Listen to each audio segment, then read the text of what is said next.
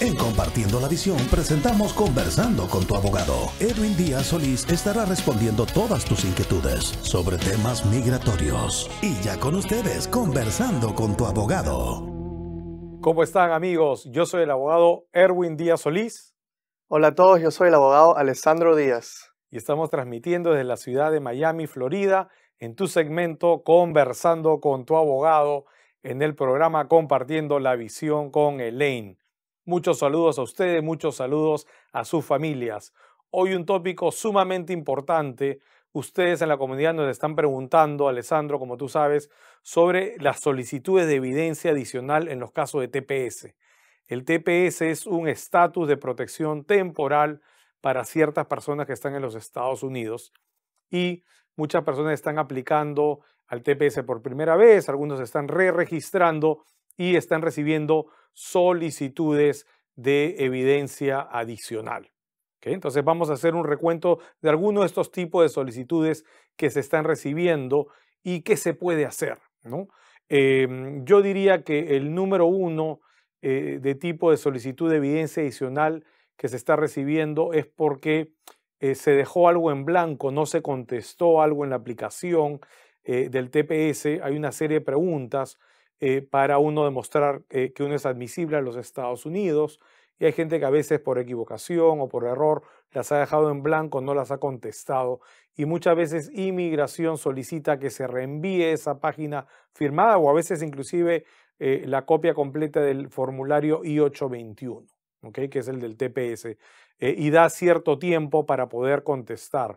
Alessandro, ¿qué pasa si no contestas a tiempo? Si te dan, digamos, 60 días para contestar una solicitud de evidencia adicional. Si no contesta a tiempo, uno puede perder la oportunidad de solicitar su TPS. Así es, entonces es sumamente importante de que deben de contestar a tiempo antes que se le venza. Así que apenas le llegue esa solicitud de evidencia adicional, como yo siempre digo, hay que ponerlo en el calendario.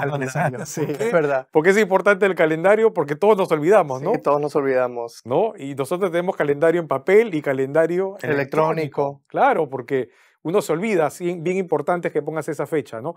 Otros tipos de evidencias adicionales eh, eh, que estamos viendo son para aquellas personas que han vivido en terceros países eh, o personas que tienen doble nacionalidad también, ¿no?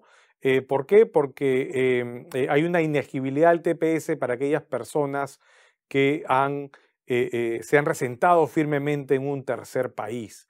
Entonces es sumamente importante contestar eh, eh, legalmente eh, estos casos, ¿no? Por ejemplo, Alessandro, ¿qué tipo de argumentos se pueden hacer en estos casos donde la persona vive en un tercer país o tiene doble nacionalidad? Por ejemplo, arraigos al país, ¿eso funciona?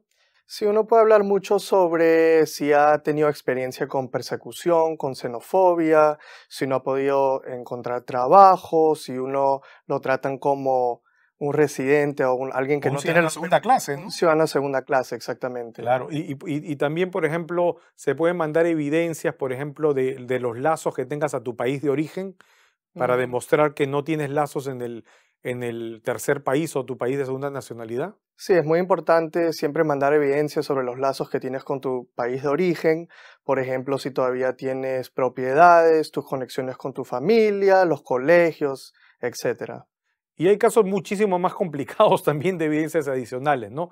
Por ejemplo, hoy nos hizo una consulta eh, eh, un posible cliente, eh, básicamente le llegó, él ya tenía el TPS, se estaba registrando al TPS y le llegó esta carta indicando, mira, tú en tu asilo pusiste que trabajaste en A, B y C, aplicaste a la residencia por trabajo, unos años después y pusiste que trabajaste en otros trabajos en esas mismas fechas D, E y F. Por ende, estás tergiversando la verdad. Aquí hay fraude. ¿Y qué le han pedido a esa persona, Alessandro? Esa persona tiene que pedir un estilo de, perdón, un waiver. waiver Y ahí uno tiene que argumentar sobre las razones humanitarias o razones de familiar que ya tienen los Estados Unidos o razones de interés público. Claro, entonces son casos sumamente complicados y difíciles, amigos, y vas a necesitar la asesoría legal de un abogado. Así que no dejes de contactarnos o no dejes de contactar al abogado en tu área para que te pueda asistir. Nuevamente, muchísimas gracias por su atención y nos vemos pronto.